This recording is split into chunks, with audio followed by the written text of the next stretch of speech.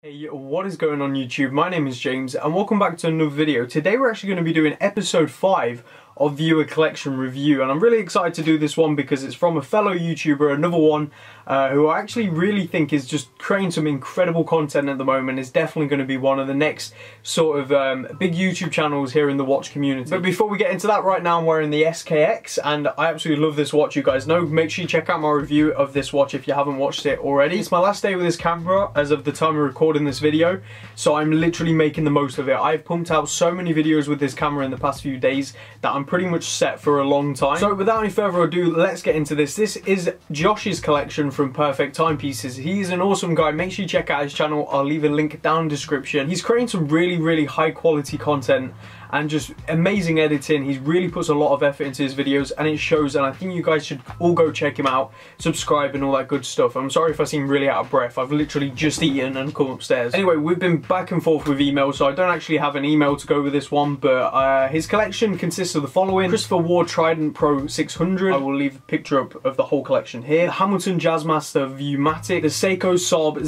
033, the Seiko SARB 065 and the Tissot Powermatic 80. So yeah, he has a really, really interesting collection. I actually really like his collection. It's a very mix of you can tell he much prefers his dress watches. Like, sure, he's got that diver in there with the Christopher Ward, but you can tell he likes his dress watches, uh, more classy pieces rather than, you know, really complicated chronographs or really high water resistant divers. I think his connection, uh, his connection, his collection really connects with his personality in the terms of he's a really well spoken guy, you know, he seems like a great guy and he's just, he's formal. He's formal at the end of the day, at least that's how he comes across. I'm sorry Josh if I'm completely describing you wrong, but you come across very formal and this is exactly the collection I could imagine you have. So without any further ado, let's just get straight into it. We're going to start with Christopher Ward Trident Pro 600. Now all the pictures provided are from Josh himself. He took these pictures and there's some very, very high quality pictures. So thank you very much for this. I'm using my phone to look at the pictures right now and I've got obviously my notes here. So sorry if I'm looking all over the place. I'll try and keep it as high as possible. So Christopher Ward is actually a British company and their watches are Swiss made. I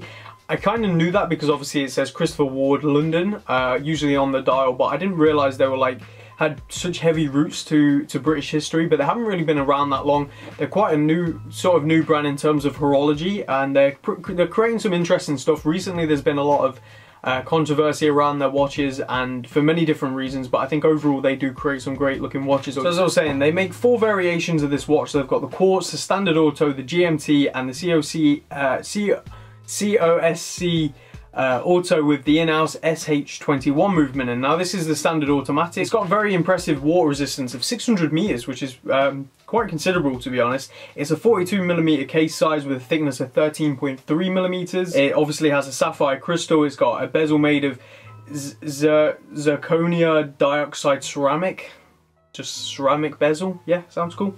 Okay, and it has a beautiful wave pattern on the dial, and it comes with either the ETA 2824-2 or the Sellita, I always get that name wrong, Sellita, Sellita, Sellita, Sellita. I don't know, SW200-1. Uh, they're basically the exact same movement, it's just obviously ETA are trying to, uh, are going, uh, stopping the, I don't know, there was something going on with ETA, I need to look into that a bit more before I comment on it, but they both have 42 hour power reserve and 28,800 beats per hour, which is 8 ticks per second, which is pretty cool. Overall, they're the same movement apart from the Soletta has one more jewel. And the bracelet looks really, really cool. So the design of it reminds me of a Speedmaster mixed with a Submariner. You know what I mean? I don't know if you guys get what I mean at all, but it just, it's got that feeling to it, and I don't know why. I love the second hand, you know that, um, the, the Trifork, I think that's what they called it, right? Um, the Trifork second hand, which is very iconic to Christopher Ward. I just overall love the design of this watch, and I think it's a very, very nice looking watch. The crown looks hefty as anything as well. It's got that real sort of grip around the crown. I think it has an open case back as well. I've heard the clasp is amazing on this thing, and the, overall the watch is apparently really, really good for the price point, which is I think around 700 pounds. I'm not too sure. It just looks good with that extra extra hint of orange in the dial, you know, with the text. It just looks really, really great. You got the day aperture on there. Overall, I think it's a very, very good looking watch and a great diver to have in your collection. Okay, the next one we're looking at is the Hamilton Jazzmaster Viewmatic. And uh, before we start, let's just let's just have a look at that watch. That is one nice looking watch, isn't it? Like the, the hour markers on that just make such a symmetrical dial and I just love the way that looks. The date aperture is so small, the crown's so small and also the shape of that case, like the design. The way it sort of, it just looks amazing in my opinion. I, I, think that's a really, really good looking watch. I can't fault the design of this. I think that is a very, very good looking watch. And Hamilton's obviously a brand that has a lot of history, you know, the likes of like Elvis and stuff wearing their watches. They, they're overall got a very wide history, even though they're part of the Swatch group. Um, I still think they're a very respected, uh, respected brand in the watch community, definitely. And I would not mind owning a Hamilton one day myself. Now it's a 40mm case size with 11mm thickness, so it's got the thickness of a dress watch, though the size I would probably say is a bit, bit a bit on the large size for a, for a dress watch. That's me personally. I think a dress watch should be between 36 and 38 personally. But it depends on your wrist size. I've got six and three quarter inch wrists, so obviously if your wrists are a bit bigger, the last thing you want is a 36 mm watch. It's got the sapphire crystal display case back, ETA 2824-2, uh, 50 meters water resistant, beautiful case shape, like I said, and it just it just looks like a quality timepiece. You know, you look at that and you just go, yeah, but that is very, very nice. And overall, I think the, the, the Jazzmasters have just got such a great rep in the watch community, and there's there's so many variations of it as well. There's like one for everyone essentially. It took me actually a while to find this version that you're seeing right here. It took me a while to find the exact specs of this version um, because there's so many out there. And yeah, I just love it. You know, the point on the second hand of the opposite side as well um, the sword hands, it's just, it's very, very, very nice. And I think you've got a really great watch. Okay, the next watch is a watch that's growing on me more and more by the day, but the 3.5 version. So this is the SARB 033. The SARB 035 is growing, growing on me so much with the wide dial. It just is so beautiful. It's so beautiful. This is considered like the poor man's Seiko or, or the baby, uh, the poor man's Grand Seiko or the baby Grand Seiko, as some people refer to it as.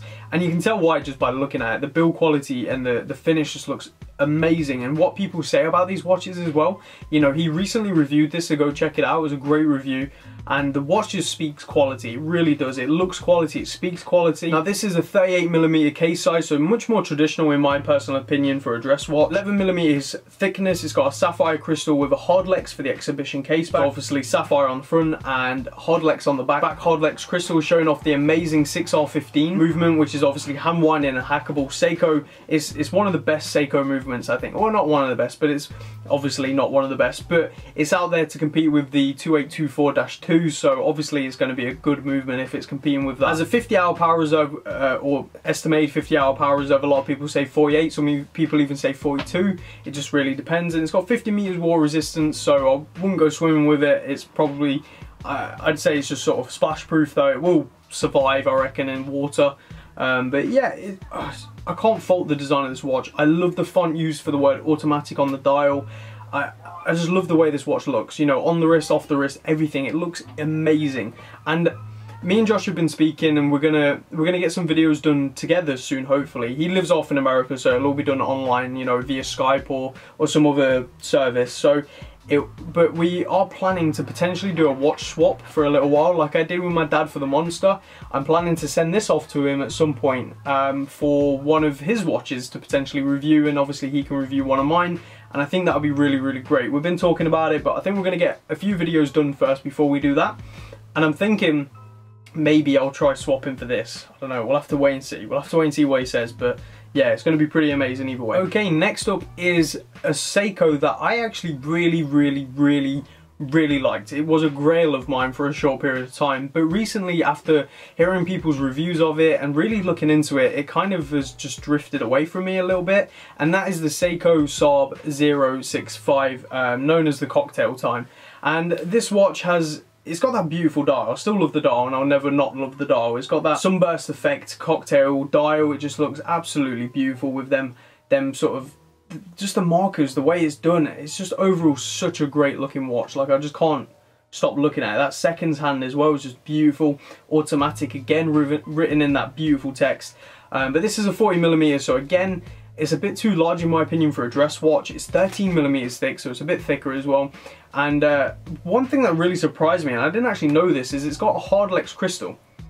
And it's not sapphire, yet it costs more than the 033 and the 035 and yet it's got Hardlex, it's not Sapphire. I don't know why they did that, but that's kind of a bit of a downer in my opinion. Like Hardlex is still great, this has Hardlex, so I've not got a problem with it. It's just, I think at that price point, you should be getting Sapphire pretty much every time. Now again, it has the 6R15 movement, there's no complaints there. Um, and it's got an exhibition case back so you can see the movement as well. Uh, again, 50 meters water resistant and yeah, overall, after after really looking into this watch, I still love the design, and I still think if I could own it, I would own it. But overall, I think you're better off with a 033 or a 035. Um, if, especially if you want the white dial, I think the 035 is just a perfect, perfect watch. Um, whereas this, I, I don't know, think about it, is just, I don't know. I don't know what it is about it. It's just something is just doesn't feel right.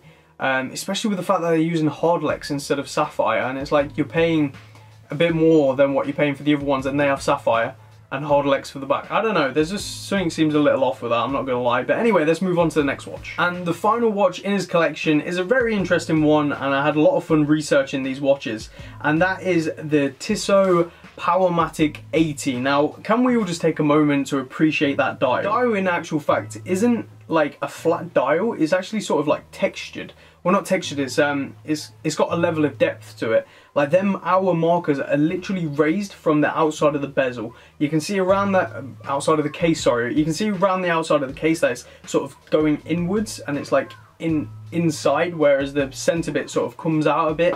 It's got this real sense of depth to the case and I think that looks absolutely incredible. And I think Tissot have done a really, really good job here and you know, and the price of the Tissots as well, they've got such a wide history. Isn't it something like 160 plus years of history that Tissot have? And yet they still create such wonderful timepieces, but at such a great and affordable price.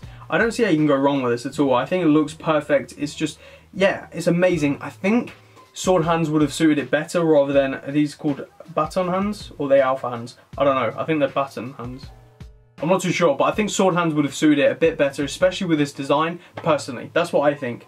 But then again, with the hour markers being sort of squared off like that, I think the hands suit quite well. I don't know. I don't know what would have done better. Someone will have to show me one with sword hands on and then I can decide. But now it's referred to as the Powermatic 80 or at least it's called the Powermatic 80 which is referring to the 80 hour power reserve. Yes, you heard me right. 80 hour power reserve. That's ridiculous. It uses the exclusive ETA C07.111 um, which is exclusive to this model as far as I'm aware. Correct me if I'm wrong. I don't know everything about watches. That should be very clear by now. Yeah, that's really, really interesting because for the price you're paying, you don't usually get stuff like this. This has a power reserve of 80, not because of loads of uh, fancy extra bits it's because it's just really efficient. Like it's a really efficient movement and that's absolutely amazing. It's got a signed crown as well it's got an exhibition case back as far as I'm aware. It just it looks absolutely beautiful. Obviously a sapphire crystal 50 meters war resistant and it's a 41 millimeter case so again getting a bit too large in my opinion. That's just my opinion though and it's 10 millimeters thickness which is super thick. From pictures that I've seen it just has a really nicely decorated movement um, so yeah, really good job Tissot on this, and I think this is an incredible value for money watch. Like, I don't think you can go wrong at all for that price. Okay, so that is his collection. Again, I'm just gonna open up the picture and put the picture on screen of his full collection. I think overall you have a really, really nice collection of some absolutely iconic and great pieces. Uh, you know, you've got a diver in there and you've got plenty of dress watches that can either be dressed up or dressed down. That's the cool thing about a good dress watch, um, like the SARB 03 Three, Um, you know, it's on the steel bracelet, which means it can be very sporty, but then also you can put it on leather or even keep it on the bracelet and it becomes a great dress watch. There's, there's so much play and so much sort of variety you can get with that watch and I think you've got a really really good one in there. You know you got the Hamilton um, the 065 as much as I'm a, a, bit off about it I think you even said yourself you you're considering getting rid of it. Um, so there you go and that Tissot as well is just beautiful um, yeah, really, really good collection, though I would... I, think maybe a, a, um, um, a chronograph would go really well in this collection, just to really top it off, I think. Not as like a necessity. Maybe if you are going to get rid of that 065, maybe replacing it with a chronograph, um, that'd be really, really cool. You haven't got any quartz pieces as well, um, which is obviously just depending on taste. Um, so maybe maybe a Seiko Flightmaster. Like I know I suggested that one last time in a few videos ago, um, but I really think they're great value for money. You know, maybe even a Citizen Eco Drive. Um, you know, they've got some really great looking watches. I don't know. I'm just I'm just throwing some suggestions out there. Let me know what you think, Josh, uh, of my suggestions. And also, guys, don't forget to leave down in the comments what you think of Josh's collection. Don't forget to check out his channel. Link will be in description. But I'm going to end it here. Um, I hope you enjoyed it. I just wanted to go over his collection. I think it's a wonderful collection. And I'll see you all again in the next one, guys. Thank you for watching. Take care and peace out.